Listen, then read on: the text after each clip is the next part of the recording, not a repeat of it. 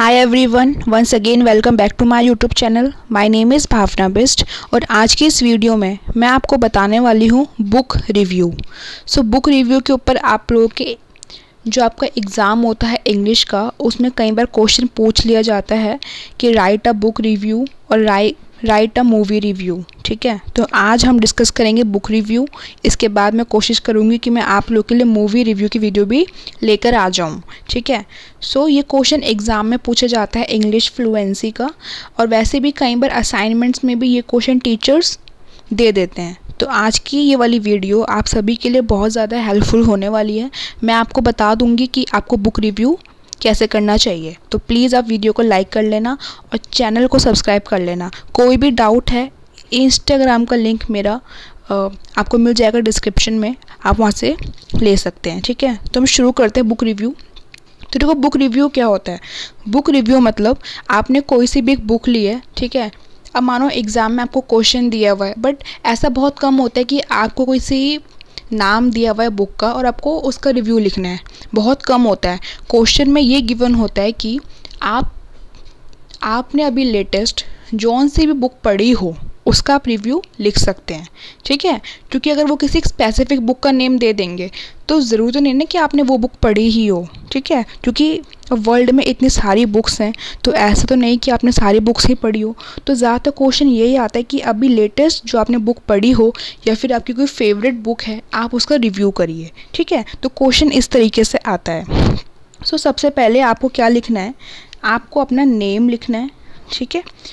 नहीं, ये तो असाइनमेंट्स के ऊपर था, इसलिए मैंने इसमें नेम लिखा, मुझे इसका असाइनमेंट मिला था, इसलिए मैंने ऐसे लिखा हुआ है। आपको जहाँ से लिखना है, वो मैं आपको वहाँ से बताती हूँ। आपको लिखना है यहाँ से, ठीक है? अब ध्यान से सुनना हर एक चीज़। इंट्रोडक्शन लिखोगे पहले ऐसी। आपकी हेडिंग होनी चाहिए पहली इंट्रोडक्शन ऐसे लिख देना बोल्ड करके अच्छे से। फिर यहाँ पे इंट्रोडक्शन में आपका जो भी बुक है, जिस भी बुक का रिव्यू करने वाले हो, उसके बारे में लिखना।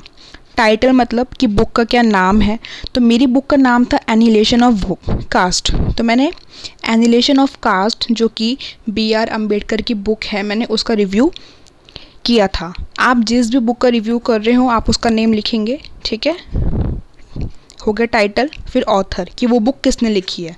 आपको जो भी आप बुक को रेडी करके जाएँ, आप उसका टाइटल और उसका ऑथर अच्छे से याद कर लें। प्लस वो कब पब्लिशर कौन था?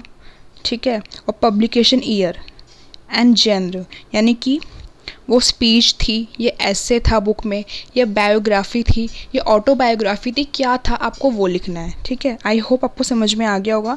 तो जो भी आप बुक प्रिपेयर करके जा रहे हो बुक रिव्यू के लिए उसका उसका publisher title author and publication year आपको ज़रूर आना चाहिए।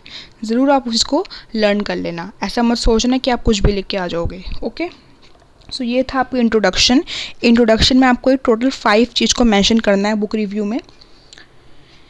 अब नीचे है अबाउट ऑथर सो इसके ऑथर हैं बी आर अंबेडकर तो मैंने इसमें लिखा हुआ है अबाउट बी आर अंबेडकर तो मैंने इसमें बी आर अंबेडकर के बारे में कुछ बातें लिखी हुई हैं.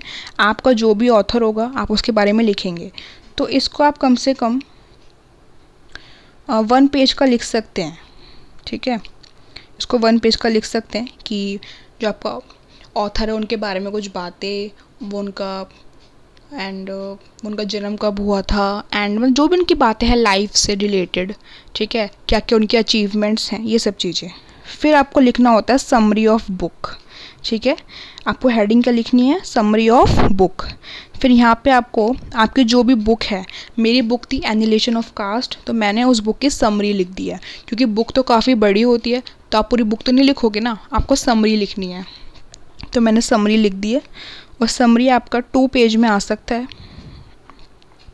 ठीक है? और जो इम्पोर्टेंट है, मैंने उनको अंडरलाइन भी कर रखा है। ताकि एग्जामिनर को ये लगे कि आपने बुक अच्छे से पढ़ी है। ठीक है? तो ये समरी थी इस बुक की। टू पेज में आराम से आ जाएँगे आपकी ये।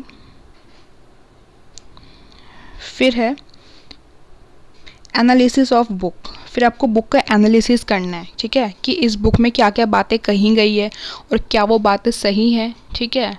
क्या वो बातें रिलेवेंट है? आपको इस बुक का एक तरीके से एनालिसिस करना है, ठीक है? तो आप इसका एनालिसिस करेंगे। ये भी आपका डेढ़ से दो पेज में आ जाना चाहिए। इसमें आप अपने व्यू भी लिख सकते हैं एनालिसिस में कि आप क्या सोचते हैं इस बुक के बारे में, या फिर इस बुक में ये चीज़ गलत है, इस चीज़ से आप एग्री नहीं करते हैं। एनालिसिस में जो भी चीज़ आप ऑब्ज़र्व कर रहे हैं, जो भी आपका एनालिसिस बनता है, इस बुक के लिए आप वो लिख सकते हैं सारी चीज़ें ओके ये लिख लेना आप।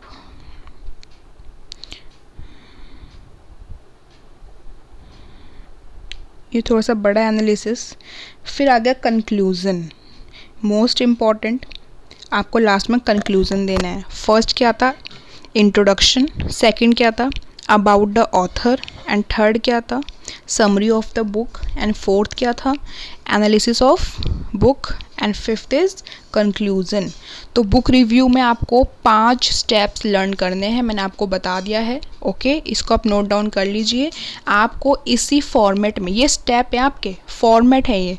अगर आपको मैंने बोला कि इंट्रोडक्शन पहले आएगा, उसके बाद अबाउट द ऑथर आएगा तो आपको वही वाला सीक्वेंस फॉलो करना है।